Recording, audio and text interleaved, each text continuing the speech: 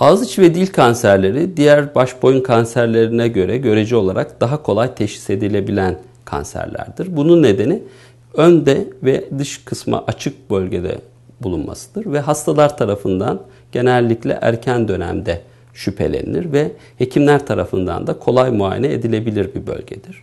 Hastanın yakınmalarıyla hekime başvurduğunda bizim standart enspeksiyon dediğimiz gözle muayenede bu bölgedeki kanserlerin büyük bir kısmından şüpheleniriz. Ve bundan sonraki aşamada da her kanserde olduğu gibi önce hastalığın yaygınlığını anlamak için tomografi, manyetik rezonans ve ultrason gibi radyolojik tetkiklere gerek duyarız. Ve yine diğer tüm kanserlerde olduğu gibi kesin teşhis için parça alma işlemi yani biyopsi işlemini yaparız ve aldığımız parçayı da patolojik incelemeye göndeririz. Bunun sonrasında da hem kanser teşhisi hem de kanserin türü net olarak anlaşılmış olur.